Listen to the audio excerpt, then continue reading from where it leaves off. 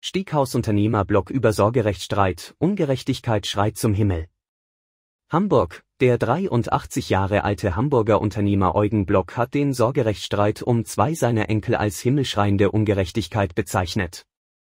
Der Zustand seiner Tochter Christina, 50, sei stabil, nachdem sie zwei ihrer Kinder auf richterliche Anordnung wieder zurück zu ihrem in Dänemark lebenden Ex-Mann hatte geben müssen.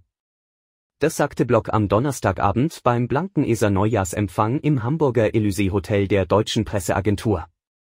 Das alles sei nur traurig. Diese Ungerechtigkeit schreit zum Himmel, sagte er. Das Elysee Hotel gehört wie die Restaurantkette Blockhaus zu der von Eugen Block gegründeten Unternehmensgruppe.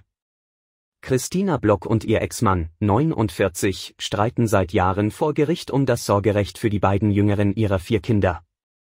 Seit mehr als zwei Jahren leben diese bei ihrem Vater in Dänemark, obwohl ein Gericht in Hamburg das Aufenthaltsbestimmungsrecht vorläufig auf die Mutter übertragen hatte. In der Silvesternacht hatten nach Angaben der dänischen Polizei Unbekannte den Vater in Süddänemark angegriffen und den zehnjährigen Jungen und das 13-jährige Mädchen in zwei Autos mitgenommen.